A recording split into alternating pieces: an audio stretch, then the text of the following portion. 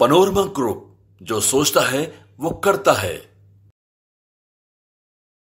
नमस्कार, भारत लाइव देख रहे हैं आप। बिहार में जदयू के अंदर अभी भी सब कुछ ठीक ठाक नहीं है। ऐसा इसलिए क्योंकि जहाँ जदयू के विधायक बागी हो रहे थे, नीतीश कुमार से, वो उनके फ्लोर टेस्ट में वोटिंग नहीं दे रहे थे। नीतीश कुमार काफ़ी चिंतित हो गए थे। तो जहाँ बीमा भारती की चर्चा चल रही है, वही अगर बातचीत की जाए बीमा भारती के अलावा, गोपाल मंडल जो जदयू के विधायक है, नीतीश कुमार के काफ़ी करीबी हैं, उन्होंने एक बार फिर से नीतीश कुमार की टेंशन बढ़ा दी है।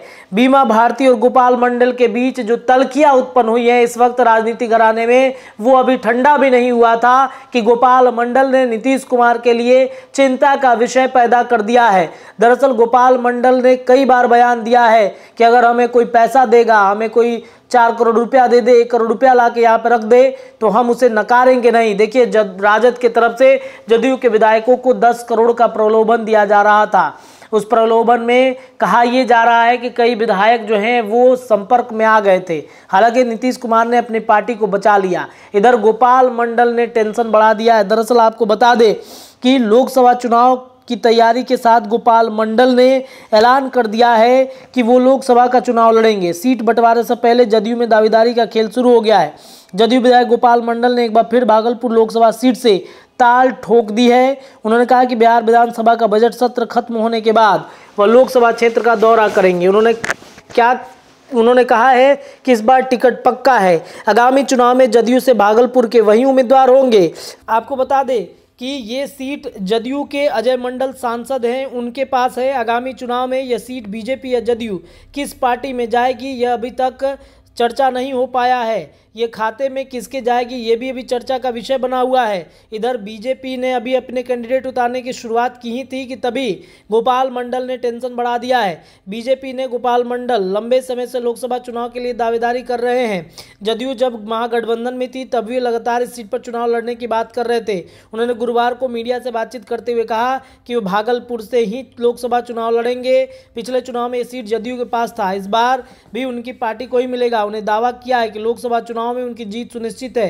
पहले वे दो लाख वोट से जीते थे, अब इस बार कुछ से ज़्यादा, तीन से चार लाख वोट से जीतने का दावेदारी कर रहे हैं। गोपाल मंडल ने कहा कि जदयू, आरजेडी से नाता तोड़ने पर लोकसभा चुनाव में कोई नुकसान नहीं होगा। जदयू जब महागठबंधन में थी, तब गोपाल मंडल ने लोकसभा की दावेदारी की थी। उस समय कांग्रेस नेताओं से उनकी तकरार हुई। गोपाल मंडल ने कहा कि भागलपुर में कांग्रेस भगवत झा के जमाने से ही खत्म हो गया।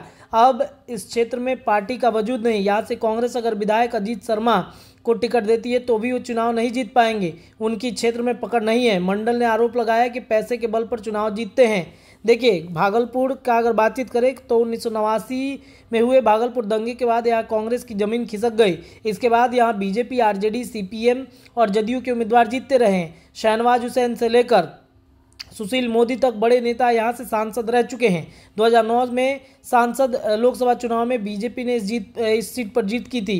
2014 में सीट आरजेडी के कब्जे में चली गई। 19 में एनडीए गठबंधन में सीट जदयू के खाते में आ गई और अजय मंडल चुनाव जीत गए। तो नीतीश कुमार के बेहद करीबी विधायक गोपाल मंडल ने टेंशन बढ़ा दिया है। फ़िलहाल अभी के लिए इतना ही। चर्चाएँ जारी हैं। धन्यवाद।